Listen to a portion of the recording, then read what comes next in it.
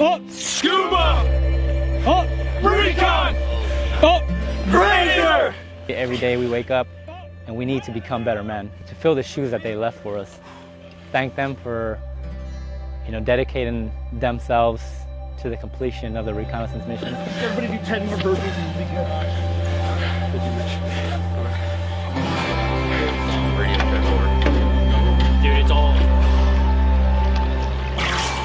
You carry those dog tags and you carry those names with honor, um, and you want to make those the family members that you're representing proud, and let them know that we still remember our brothers who went before us and the sacrifices that they made.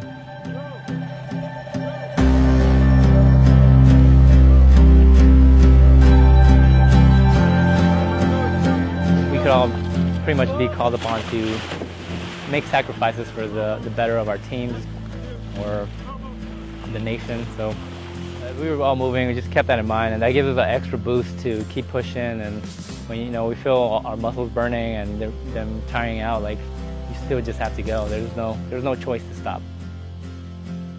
It is the contributions and the efforts of every Marine in this battalion that's what contributes to mission success. It's not just one person, it's not just an operator, it's not just one group, it's all of us together.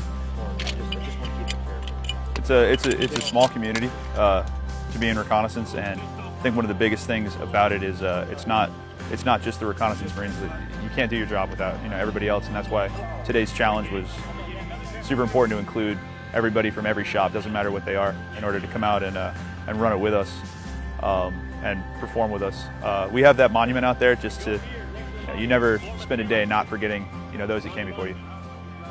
It gives them a lot more passion. So whenever things get hard and whenever it's tough, they remember why they're doing this. So the event today wasn't to judge the physical standing of any one individual within this battalion, but it was for them to come together, sacrifice themselves through the physical uh, aspects of this warrior challenge, and to remember that the others sacrificed for them. All right, what are the six war fighting functions? All right, give me Alpha, Bravo, Charlie, or Delta. a big part of this job is that you, you, know, you go into dangerous situations knowing that you, know, you have your brothers to your left and your right um, that would do anything for you. And you know, in the event that you do make the ultimate sacrifice, I think that you you go out knowing that you know for the rest of time, you know, your community is going to look after you, look after your family, and uh, essentially pay their respects anytime they can.